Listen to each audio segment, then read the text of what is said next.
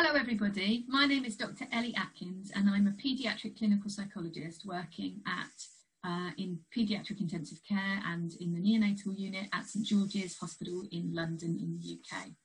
And I'm going to be talking to you today about managing stress. This is one of a series of webinars that we're running about staff wellbeing. So I'm going to share my screen for you. So today's webinar is called Managing Stress and it's thinking about the impact of the work on us and, and how we, what we could do about that. So let's first understand what stress is. I really like this analogy, the idea that stress is like a bucket, that we all have a bucket inside us. And sometimes our bucket is getting filled up. And it's getting filled up with things from work, and it's getting things filled up with things from our families, with things from our everyday life. So if we use the pandemic as a, an example of this, um, we were at, at work facing um, the um, the idea that we were going to be getting more and more patients in. We might have been redeployed to different teams, or other staff members in our team might have been redeployed. We might have um, been facing uh, additional worries and anxieties from parents of our patients because they were worried about the virus. And then in our home lives, we might have been having to queue for food, or we might have been having to self isolate and stay at home. Uh, we might have not been able to go out. We might have not been able to see the people who are around us. Perhaps we couldn't have the childcare if we've got children that we would have had. So uh, we see that all of these things are going into our buckets all the time and they start to fill our buckets up. And our buckets get fuller and fuller. Um, and then what happens is our buckets spill over. And, and this idea that they're getting fuller and fuller is, is the impact of stress. And when we're really stressed, uh, then what we know is that cortisol is coursing around us. And the impact of cortisol is these things. So cortisol is quite helpful. Um, it's one of those inbuilt emergency mechanisms that helps us to manage in a crisis. So that's great. It increases our blood pressure, decreases our sensitivity to pain, um, it increases our blood sugar. These are the kind of let's cope with a critical um, danger to us. But if we're functioning at a, a, high level of stress, if our bucket is getting full quite a lot of the time, we've got a lot of cortisol going around us, some of those things um, stop being so useful. For example, suppression of the immune system at a time when we're having um, uh, a, a life-threatening virus around can really feel quite frightening. Um, serotonin, that's the kind of happy chemical, so we're not feeling so great. Um, and while we might have heightened memory and attention for the, the, issue that's right in front of us, remembering all the other things we've got to think about might feel too difficult. So for me, in the middle of the crisis, I found it really difficult to think about cooking for my family. Normally, I cook for my family every night, and I just found that the thinking about what ingredients we had in the fridge, whether I needed to go shopping, how I could make a meal out of that, who liked what, was just too much processing. Luckily, I have a lovely husband who managed to step into the breach and do most of the cooking for us. Um, but that was, I was focused so much on work and I was really engaged in the work that I was doing. I wasn't able to think about um, what was going on uh, in other areas. And specifically for me, it was cooking that I just found I just didn't have the headspace for. So we've got all these things going on for us uh, when we're really stressed. Uh, and let's think a little bit more about what that, that impacts on us. So we know that some stress is not that bad. It's not something we should really worry about that much. Actually, a little bit of stress is quite normal. Um, if it's brief and mild to moderate, it can really help us, it can spur us on. If you think about when you were a student, perhaps, and you had an essay that had to be handed in, a little bit of stress, I've got to get this in, I'm going to get in trouble, actually helped us to get the essay in on time, even if we had to stay up a bit later than we normally would have done. So sometimes stress can be positive.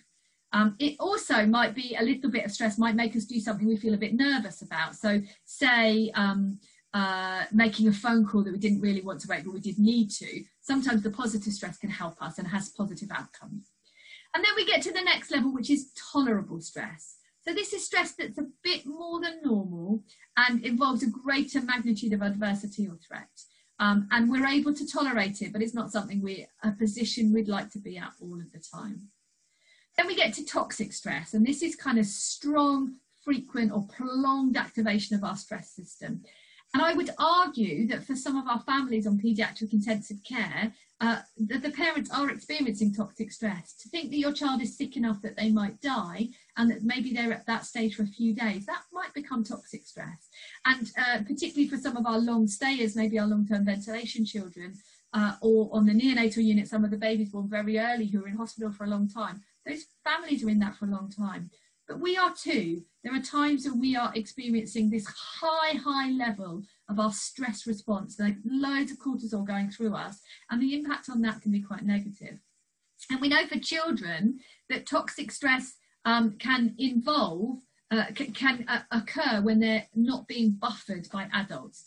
And what that means is that we talk about children having a smaller stress bucket than the buckets that adults have. And when children are stressed, they tip a bit into their adult's bucket. And we see this all the time. We see when they come and they say, Oh, I just fell over. And the adult goes, Oh dear. And they take a bit of the stress of the child into their bucket. If a child is stressed and they're not able to tip out and they've got this smaller bucket, they're going to get to toxic stress quicker. So the, the, the support that adults give them, and we do this as staff on intensive care for a child who's awake we're trying to buffer them by talking to them, by supporting them, by getting their parents and encouraging their parents to stay, maybe by finding strategies to communicate. Those are the ways that we buffer children when they're awake in critical care because otherwise it might be quite stressful for them. So, if your bucket is feeling quite full, um, and it may be, then these are some things that might be helpful. So the first thing is to notice. Notice when your bucket gets full. Think about what level am I at? Oh, that thing just tipped in a whole load. Or maybe it's just gone up a little bit, but I haven't got much capacity before my bucket is going to spill over. Um, and then take a breath. It's one of the little things that helps empty a little bit out of our bucket. We talk about putting a tap on the bucket so that we can control how we're letting it out. Rather than letting it all flood out, we put a tap on the bucket and we let it out just taking a breath is one of those things. Find a moment to pause when you can. If your stress is getting high, just pause. Just take a second while you're at the cupboard. Just take a second while you're in the loo. Just take a second while you're on your break, just to think about it and bring yourself down. Now we know that exercise disperses cortisol and produces endorphins. So if you can build exercise into your day, it might be walking the length of your hospital corridor. If it's anything like our hospital, it's quite a big campus you know, just walk, maybe walk around. We've got a perimeter road, walk around the perimeter. It might be walking to or from work if that's possible, or it might be doing some exercise outside of work. Set boundaries for yourself. If you're working at home or you're working more flexibly, or if you're working extra shifts, it's possible that you can cram in more work than before. I knew of people who were working um, their normal job in the week and then doing extra shifts on the COVID wards at weekends. Um, think about how you look after yourself. Don't work every hour. So take the time for yourself, take time for your family, um, take the time to do other things. And don't feel guilty about that. That's part of you being a responsible healthcare worker. Remind yourself of the other times when you've coped with stress. So think about times maybe when you were doing your exams, maybe when you were a student, maybe you had a difficult boss. When have you coped with stress in the past? Um, maybe simultaneously you were trying to ma manage exams and working, as is the case for, for lots of doctors. Um, remind yourself how you coped with that. And tell yourself this won't last forever. Find something to look forward to on the other side of this pandemic. We don't know when that will be, and that uncertainty is really tricky and might add to our stress. But there will be a time when we're in a different place to the place we're in now, where it won't feel as stressful as it feels now. And letting yourself know that and having hope for the future is really important.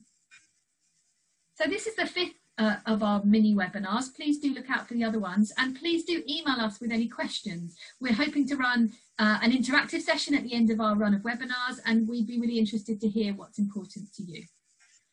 So thank you very much for listening. Um, we appreciate you being there and I hope that you can find ways to think about your stress bucket and think about how you might empty it out and the ways in which you might do that safely, maybe by putting your tap on and finding some strategies that let it go. So take care everybody. Bye bye.